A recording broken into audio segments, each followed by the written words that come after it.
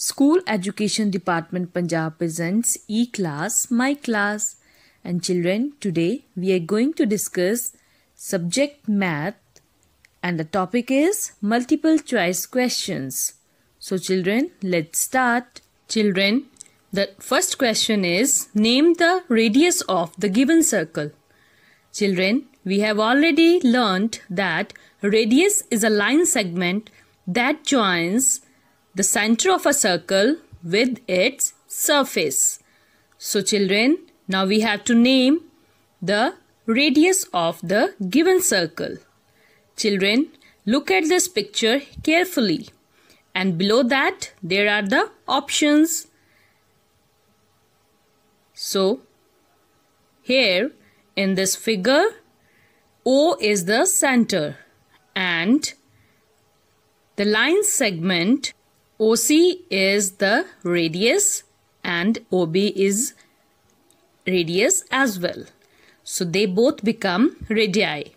So children, we will see the correct options from the given options. So we'll start from option A. Is it OC? Yes, because we have found the radius OC. So this is the correct one. Here, the next question is How many pieces does the given tangram have? Children, here is a figure that we call tangram and we have to calculate the total number of pieces. So let's start to count them. 1, 2, 3, 4, 5, 6 and 7. So here are total 7 number of pieces. And let's find the correct option. Is it option A that is 6? No. It is incorrect. Now option B 8. It's again incorrect. Now we'll come to option C that is 7. Yes, because we have counted 7 number of pieces. So children, our correct answer is option C. Now, the next question is which given figure has the following top view, front view and side view? Children, look at these views carefully. These all are in rectangular shape. And in the given options, which figure has these three views. That means a rectangular view. So children, let's start to find the correct option from the given options. In option A, we have a cube and all its faces are in square shape.